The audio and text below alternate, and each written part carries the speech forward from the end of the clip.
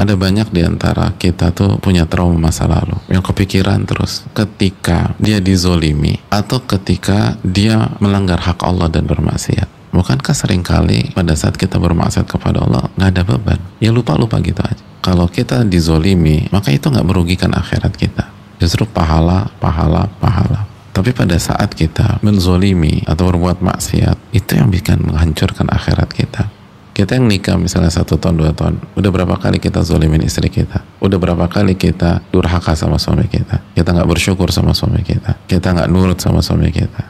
Kita nggak sholat misalnya. Ingat nggak berapa kali kita nggak sholat? Berapa sholat jumat yang pernah kita tinggalkan? Berapa kali kita nggak sholat subuh nggak sholat duhur nggak sholat asar nggak sholat maghrib nggak sholat isya? Puasa aja lupa apalagi sholat. Wa makana bukan nasiya. Rob anda para wanita misalnya. Berapa kali kita memperlihatkan aurat kita kepada laki-laki yang bukan mahram? Lupa lupa. Wa bukan nasiya. Rob anda nggak pernah lupa.